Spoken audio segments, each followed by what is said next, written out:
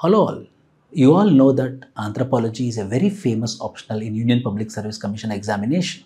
For that particular purpose, in order to make your preparation very easy, we are coming up with anthropology standard book which consists of paper 1 and paper 2 of UPSC syllabus.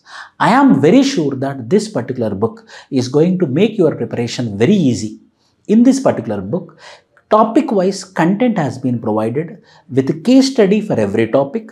Not only that previous year's questions also been there as well as any googly type of questions model also answer provided in this particular book. So i am telling you this one particular book is going to be a one stop solution. And if you read this one particular book i am telling you there is no requirement of reading any other book. Hence this anthropology under McGraw Hill's publication is been released. Thank you